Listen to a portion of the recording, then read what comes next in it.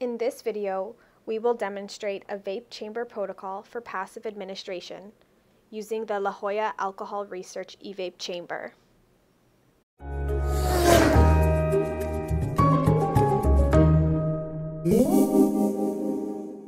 Vape chambers are a valuable research tool for facilitating clinically translatable methods of drug administration, such as for the administration of vaporized THC.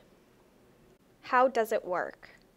Atomized vapor from the vape tank and ambient air from the flow meter combine and flow into the vape chamber. Vapor is evacuated from the vape chamber via the vacuum pump and is filtered.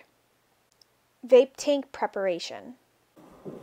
Assemble the vape tank.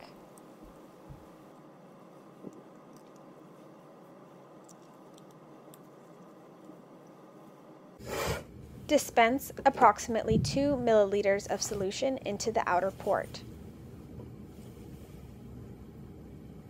If you are using a THC solution, make sure to cover the vape tank with tinfoil as THC is light sensitive. Vape chamber setup.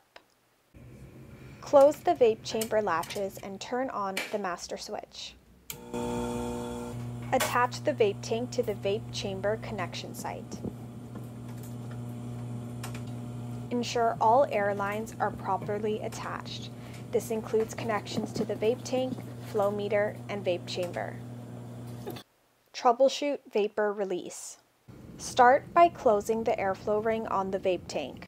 Set the airflow rate on the flow meter to about 1 liter per minute. Note that the rate will vary by protocol. Press and hold fire to test vapor release. If you do not observe sufficient vapor release, you must make some adjustments. Slightly open the airflow ring while maintaining the airflow rate on the flow meter. Continue the adjustments with a test fire until the desired vapor release is achieved. Wait 10 minutes to allow for complete vapor evacuation before transferring the animal into the vape chamber. Experiment setup. Turn on the digital monitor and set the experiment parameters.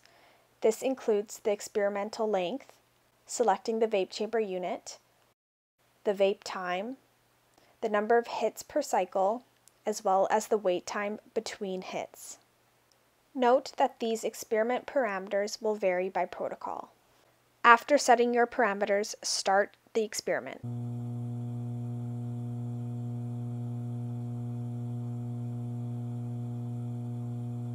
Vape chamber and tank cleanup.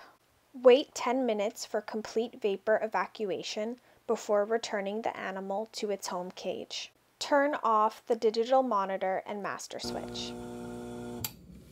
Disinfect the vape chamber. Disassemble and immerse the vape tank pieces in disinfectant. Be careful not to wet the atomizer, as this piece must remain dry for proper functioning. Instead, use a paper towel and cotton swab to absorb excess solution. After an hour or so, lay the vape tank pieces to dry on paper towel. Thank you for watching and make sure to check out the matching graphical protocol in the link in the description below.